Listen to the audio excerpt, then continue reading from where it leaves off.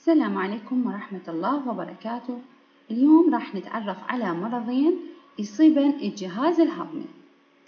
اللي هن هذين المرضين مرض حمى التايفوئيد ومرض حمى مالطا بالبداية راح نتعرف على ال typhoid fever اللي هو حمى التايفوئيد هاي حمى التايفوئيد هذا المرض يسببه منو؟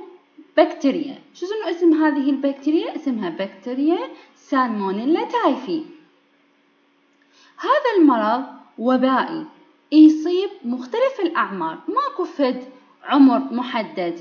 لا يصيب مختلف الأعمار. لكن بالعادة أكثر انتشار يكون عند الكبار مقارنة ويا الصغار. طبعا هذا المرض موجود بجميع أنحاء العالم وشائع وخاصة شائع ببلدان الشرق الأوسط. هذا المرض ينتقل عن طريق الماء والغذاء الملوثين بما الملوثين بعصيات السالمونيلا بالبكتيريا. مثل ما ذكرنا إنه هذا المرض هو يعني من الأمراض اللي تصيب الجهاز الهضمي. إجت البكتيريا السالمونيلا دخلت عن طريق الماء والغذاء للجسم. من راح تدخل؟ راح ينصاب الشخص تبدي تظهر أعراض الإصابة. نعرف من خلال الأعراض إنه هذا الشخص مصاب. ما هي هذه الأعراض اللي تشخص تظهر عفوا تظهر على الشخص؟ المصاب الأعراض هي الحمى صداع يظهر على الشخص فقدان الشهية يحدث تضخم بطحال هذا الشخص المصاب سعال عنده ويظهر عنده طفح جلدي. هذا الطفح يكون ورد اللون. ينتشر على جذع الشخص المصاب. بعض الأحيان يعني الأعراض الأخرى إنه الشخص ينصاب بحالة إمساك يصير عنده أو بالعكس يصير عنده حالة إسهال. نسبة الوفاة اللي تحدث من هذا المرض نسبتها بدون علاج يعني ما يتعالجون الأشخاص نسبة الوفاة اللي تحدث لهذه المرض تكون نسبة عشرة بالمية. من ننطي علاج نسبة الوفاة راح تنخفض. تصل إلى واحد بالمية فهذا المرض من خلالها نعرف إنه هذا المرض مو مميت. حتى نسبة الوفاة اللي يسببها تكون نسبة قليلة. فترة حضانة هذا المرض تتراوح ما بين أسبوع إلى ثلاث أسابيع. هذا المرض شلون نشخصه؟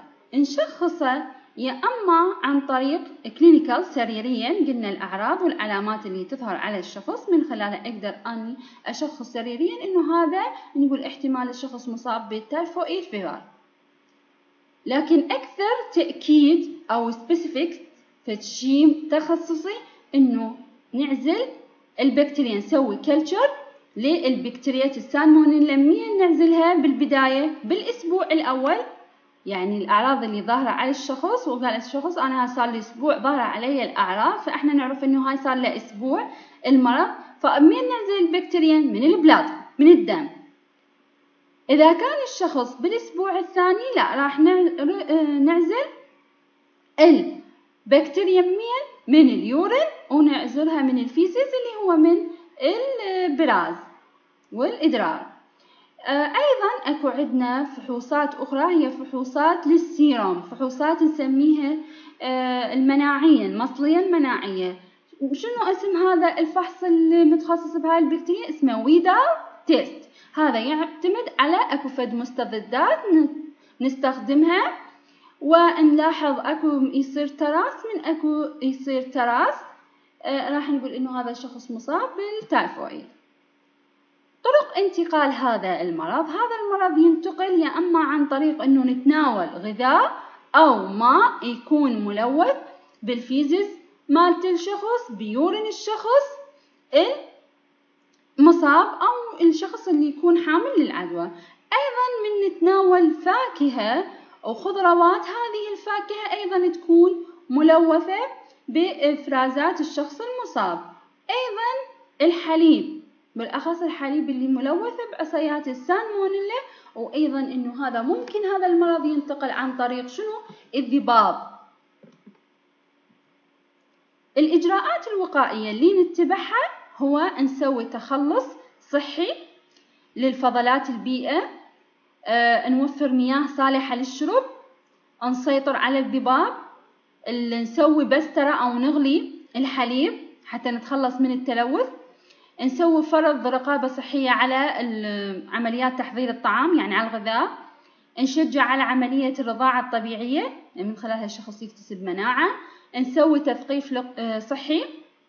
نلقح الأشخاص بلقاح التايفوئيد. ونمنع الأشخاص المصابين اللي أو الملامسين واللي يعملون بالصناعات الغذائية لحد ما نتأكد من سلامتهم وتظهر نتائج الفحوصات لهم إنه هذا الشخص سليم غير مصاب. يلا نخليه يزاول عمله. الإجراءات اللي نتبعها بحق المرضى والملامسين والبيئة هي إبلاغ فوري عن الإصابة نعزل الأشخاص المصابين نسوي تطهير الإفرازاتهم ننطي علاج آه، الأشخاص المصابين الملامسين ننطيهم أيضا علاج ونمنحهم أنه آه، يتداولون يعني يعملون بالصناعات الغذائية. نسوي فحوصات مختبرية حتى نتحرى عن الأشخاص الملامسين واللي ما معروفين فنسوي فحوصات مختبرية حتى نتحرى عن هذا المرض. هسه نجي ناخذ المرض الآخر اللي هو مالتا فيفر اللي هو حمى مالطا أيضا هذا المرض تسببه بكتيريا. المسبب المرضي مالته بكتيريا شو اسمها هذه البكتيريا؟ اسمها بكتيريا البروسيلا. هذا المرض يعد من الأمراض البكتيرية الخطرة وأيضا هذا المرض يعد من الأمراض المشتركة بين الحيوان والإنسان اللي هي zoonosis disease. يعني يصيب الحيوانات ومن خلالها يقدر ينتقل للإنسان. هذا المرض السبب بكتيريا البروسيلا. هاي البكتيريا إجت تسميتها نسبة للعالم بروس اللي هو هذا العالم هو اللي عزل هذه البكتيريا. عزلها بسنة 1887 بجزيرة مالطا. وأيضا منا إجت اسمها آه، حمى مالطا. مالطا فيفر أيضا إلها هاي الحمى إلها تسمية أخرى تسمى أنيديلت فيفر الحمى المتموجة. أيضا إلها تسمية أخرى نسميها حمى البحر الأبيض المتموج. مصادر المسبب يعني الإنسان نتيجة أنه هذا الإنسان تناول حليب أو منتجات المنتجات الحليب ممكن تناول الأجبان آه، يعني أي منتجات الحليب اللي مأخوذة هذه المنتجات من مأخوذة من حيوانات مصابة اللي هي المواشي بأنواعها الإبل ماعز أغنام الأبقار الخنازير. كذلك الحليب قلنا هو يكون مصدر وأيضا اللحوم لحوم الحيوانات المصابة. أيضا هي تكون مصدر في انتقال العدوى. كذلك الغذاء اللي متلوث بإفرازات الشخص المصاب يعني ملوث هذا الغذاء بال blood مالت الشخص بال urine مالت الشخص بال feces مالت الشخص. هذه هي المصادر العدوى. الأشخاص اللي هم يكونون أكثر عرضة للإصابة بمرض يعني ال Malta fever هم الأشخاص اللي يعملون في حظائر المواشي المصابة بالبروسيلا المزارعون اللي عندهم حظائر لتربية المواشي لأن يكونون على تماس اختلاط ويا هذه المواشي وهذه المواشي مصابة بالأبروسيلا أيضا البيطريون. اللي يعالجون هذه الحيوانات المصابة. الجزارون عمال تنظيف المجازر لأن يكونون على تماس ويا الحيوانات المصابة. أيضا الحليب اللي غير مبستر من تناول الحليب غير مبستر هذا راح يكون آه، يعني تناول الشخص راح يكون هذا سبب إنه ينصاب الشخص أيضا تناول اللحوم أو الكبد اللي غير مطبوخة جيدا لأن هذه تكون ملوثة ببكتيريا الأبروسيلا هذا المرض نقدر نشخصه عن طريق أنه آه نسوي عزل نعزل هذه البكتيريا البروسيلا نعزلها من blood الشخص المصاب من نخاع العظم مالته من الأنسجة مالت هذا الشخص من إفرازاته.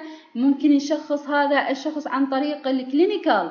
test الفحص السريري عن طريق ملاحظة العلامات اللي تظهر للشخص المصاب. أيضا ممكن أستخدم فحص آه، ال Rose Bengal test. هذا الفحص اللي يعتمد على الأضداد. من خلاله أقدر أشخص إنه هذا الشخص مصاب بمالتا فيفر الإجراءات الوقائية اللي نتبعها هي التثقيف الصحي. إما نسوي تثقيف صحي للفلاحين عمال المجازر القصابين ونعلمهم عن مدى خطورة هذا المرض.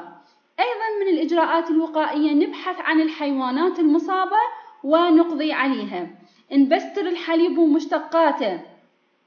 آه، نسوي حذر من التعامل مع أجنة الحيوانات المريضة. وأيضا نسوي حذر من نتعامل ويا إبرازاتها ونطهر المنطقة الملوثة. وأيضا نسوي رقابة صحية على المجازر. هذه الإجراءات الوقائية من اتبعها راح نقلل من انتشار المرض. الإجراءات اللي نتخذها بحق المصابين والملامسين إنه نسوي إخبار فوري ونخبر السلطات من تحدث أي إصابة نسوي تطهير لإفرازات الشخص المصاب أو آه، نسوي الأشخاص الملامسين نتحرى عن الملامسين نعرف مصدر العدوى منه. حيوانات إذا عرفنا هذه الحيوانات هي مصدر العدوى نقضي على الحيوانات حليب آه، اللحوم مالت هذه الحيوانات. ننطي لقاح وعلاج للمصابين ننطيهم antibiotic لمدة ثلاث أسابيع. هذا ال antibiotic اسمه تتراسايكلين آه هذا يا أما ننطي وحدة التتراسايكلين أو ننطي ويا علاج آخر نحقن اللي هو العلاج الآخر الستريبتومايسين لهنا نكون خلصنا محاضرتنا. شكرا جزيلا.